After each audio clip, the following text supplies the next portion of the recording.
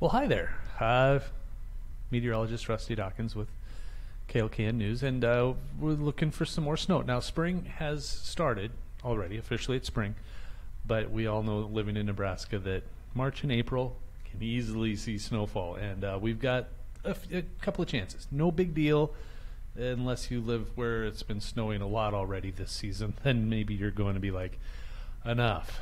So here we go. Uh, let me see. Let me start put this into motion, and here we go. We're off. Model number one coming around the bend, and hey, look at that, Valentine. Jeez. Uh, so yeah, spots that don't need the snow or have seen a lot of it already. Uh, this particular model through Thursday morning has uh, a chance at a couple inches of snow, maybe more, like Valentine. Model number two, uh, not as much. Here's uh, kind of two waves. That first wave had about a half an inch through Tuesday, and then by Thursday morning, this has it over uh, an inch or two of snow uh, possible uh, possible for central and eastern Nebraska. So, all right.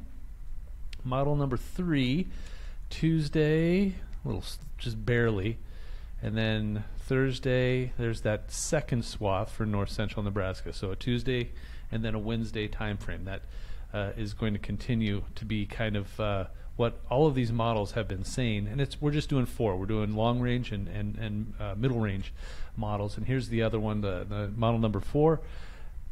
Again, two swaths, uh, kind of over the same area. Valentine again, uh, seeing the uh, better chance for some snowfall. So north central and northwest Nebraska, uh, Tuesday and then again Thursday. So there's your chances for snow. Uh, it's Monday, so we've got uh, we might check again on uh, on Tuesday to see what's up, uh, and then we'll see if those Thursday chances stick around as well. So just a short one tonight.